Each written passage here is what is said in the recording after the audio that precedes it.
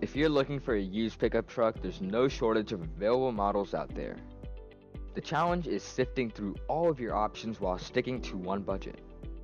The good news is that we at All Auto are here to help. Now here is a list of 10 solid pre-owned candidates that cost less than 10 grand. In this price range, trucks often have a lot of miles on them and some have been used for hard work, but if you do your homework, you can find a capable, reliable pickup truck that can get the job done. 2011 GMC Canyon. A starting fair purchase price is $9,598, but it can be cheaper or higher. The recommended engine for this truck is a 5.3 liter V8 engine. The GMC Canyon is a good truck because of its dependability. The mirror image of its sister vehicle, the Chevrolet Colorado, the GMC adds a few upscale touches, but for the most part, the two trucks are interchangeable. As with the Colorado, the Canyon offers a choice of 4, 5, or 8 cylinder engines in 2 or 4 wheel drives. The engine that would be recommended is a 5.3 liter V8. The Canyon had a national recall for shift position indicator which may keep it from starting in park or may make it roll away on exit. However, General Motors will cover that and we assume most vehicles involved have been fixed. The Canyon also has a problem with the throttle body, but General Motors has extended warranty coverage on that item for 10 years and 120,000 miles. Get a well-maintained example, change the oil, and you'll have a good truck that will last you a while. 2010 Ford Ranger The suggested starting fair purchase price is $8,764, but it can be higher or lower depending on where you buy it. The recommended engine is 4.0 liter V6. The 2010 Ford Ranger offers good road manners and a handy size smaller than its full-size brother, the F-150. Now some were equipped with a 2.3 liter 4-cylinder engine and a 5-speed manual transmission, but the 4.0 liter V6 with automatic transmission is a good upgrade. Although not the most powerful truck in its class, the 4.0 liter engine provides the Ranger with brisk acceleration and a 6,000 pound tow rating. A couple minor things to watch out for include thermostat failure, but happily the thermostats fail in the open position so there are no overheating issues. There's also a technical service bulletin for replacement of the left catalytic converter. The average failure for this truck is at about 55,000 miles, which is very low, but they're warranted from the factory for 8 years or 80,000 miles, so that's no big issue. The only minor problem is heater blend door actuators can be a problem. Other than that, it's a good truck and also a very good truck if you're looking to buy one for under 10 grand. 2007 Toyota Tacoma. Starting fair purchase price would be about $7,781, but it could go lower or higher. The recommended engine for this truck is a 4.0 liter V6. Now why is the 2007 model on the same list with 2000? In Tacoma's case, the reason is dependability. While the truck is worthy opponents, none can touch the Tacoma's long history of reliability and high resale value. Wrapped in muscular sheet metal with a powerful V6 engine available, the Tacoma has much to offer those who take their pickup trucks very seriously. Now like the larger Toyota Tundra, the Tacoma is pretty well trouble free.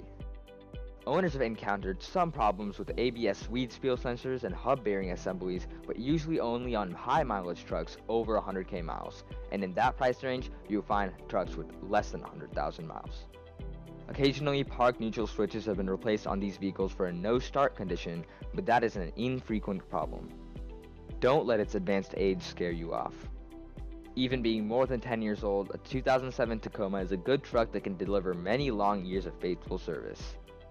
2010 Dodge Dakota. A starting fair purchase price is $9,034, but it could be lower or higher. The recommended engine would be a 3.7 liter V6. Labeled a mid-size pickup truck, the Dodge Dakota offers a trimmer package that makes it easier to negotiate congested city traffic and crowded parking lots than recent vintage full-size pickups. It is available in four distinct trim levels with choice of aft hinged rear doors, extended cab, or four conventional doors, crew cab. Standard is a capable 210 horsepower 3.7 liter V6. The dependability on this truck is strong, but there are a few issues with it. One is the heater core. It can plug up, preventing flow through the core and thus delivering no heat in the passenger compartment. If you like it hot, this one is not for you. And levity side, this can be an expensive repair. Some Dakotas also have catalytic converter failures around 100k miles, and those too are not cheap to fix. That being said, well-maintained low-mile Dakota can be a terrific all-around vehicle, neither too big nor too small. 2007 Honda Ridgeline A starting fair purchase price would be $9,116. It could be lower or higher though. The recommended engine would be a 3.5 liter V6. The Honda Ridgeline is not a conventional pickup truck and in the eyes of many of its owners, that's the beauty of it. It offers a roomy cabin for four with a great seat of front bucket seats plus a unique storage compartment below the truck bed. The ride comfort is similar to a minivan and there are mechanical similarities too. Another similarity is the Ridgeline offers traditional Honda quality. Now there have been some trucks that have encountered a few with misfire codes but those are most often caused by lack of maintenance if you don't tune them up, all of a sudden they run poorly at about 100k miles. Right now, new spark plugs are often the cure, but the Honda engine can experience carboned up valves. Catalytic converters typically fail about 160,000 miles, more than most trucks, and some owners have seen hub bearing assemblies fail before reaching 100k miles. Still, longtime Ridgeline owners swear by, instead of at, their vehicles. The 2008 Dodge Ram 1500. A fair starting price for this truck would be $7,396, one of the cheapest on the list. The recommended engine would be a 5.7 liter V8. Rams have become known as one of the most comfortable and car-like of the full-size pickups, and the 2008 Dodge Ram is no exception. Its available Hemi V8 delivers 345 horsepower and 375 pound-feet of peak torque, and the 5-speed automatic provides smooth power delivery at any reasonable speed. Now the Dodge Ram is a good looking truck with a comfortable interior, but they do encounter some problems. One of the most prevalent occurs with the exhaust gas recirculation system, and it usually requires replacement of the EGR valve. Many cars have had failures with the transmission solenoid packs, and sometimes this requires a replacement of the transmission. That's not very good. Some Ram 1500s have also encountered problems with the evaporative emission system, and check engine lights are bothersome. Key to overall satisfaction is finding a truck with a solid transmission, so give each vehicle a careful test drive and have it inspected by a mechanic you trust. The Dodge Ram 1500 can be a great all-around vehicle, but an expensive transmission replacement won't get the relation started right. 2008 Chevrolet Silverado 150. A good starting fair purchase price would be about $8,211, but it could be cheaper or higher. The recommended engine would be 6.0 liter V8. Riding on a GM full-size truck platform, the 2008 Chevrolet Silverado offers a markedly better ride and handling combination than previous generations Chevy and GMC trucks and the same vintage Ford F-150. The platform includes a fully boxed frame, coil-over shock front suspension, and rack and pinion steering, and the result is a maneuverable, comfortable vehicle. Power delivery is more than ample, especially in the available 6.0-liter V8, but there are some issues to look after for. Fuel injector problems can occur and while cleaning them can fix many of the problems, sometimes they need to be replaced. When oil pressure lights glow on the dash, it's usually caused by a bad oil pressure sending unit, a pesky problem.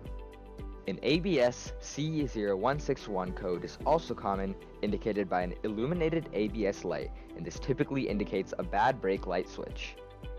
To get this truck, look for low mile vehicles or those that have already had significant engine work. 2010 Ford F-150. A good starting fair purchase price would be about $9,642. The recommended engine we would recommend is 5.4 liter V8. This truck has many similarities with the Ford F-250 Super Duty that precedes in on this list with essentially the same strengths and weaknesses. As a full-size hauler, the F-150 has few equals. A comfy interior accompanies a seriously capable work machine. Since it shares some engine and transmission configurations with the number 10 F250, it has many of the same problems as the miles roll up. Timing chains can also be an issue with the available 5.4 liter engine, sometimes requiring engine replacement. And shifting problems with the transmission can also require a costly out of warranty replacement. Again, look for a well-maintained low mileage model or seek out a vehicle that's already had an engine and or trans replacement. 2009 Ford F250 Super Duty the starting fair purchase price would be $9,520. The recommended engine would be a 5.4 liter V8. The Ford F-250 Super Duty takes the full-size truck to the next level. Whether you're in construction, farming, or leisure time hauling, the F-250 will deliver an impressive level of capability, refinement, and convenience. Depending on spec, an F-250 can ride like a limousine or be one tough son of a work truck. The interesting thing is the F-250's schizophrenia. This truck often is a sweetheart up until 100,000 miles or so and then it can turn on you. After passing the 100 grand mark, owners have seen fuel pumps and fuel pump driver modules fail, and they have also encountered engine and transmission problems so look for a low mileage example and treat it with TLC. Subscribe and turn on notifications so you don't miss any more videos of cars on a budget and much more. Check out the Cars on a Budget playlist and the video link down in the description. I'll see you in the next video. Take care.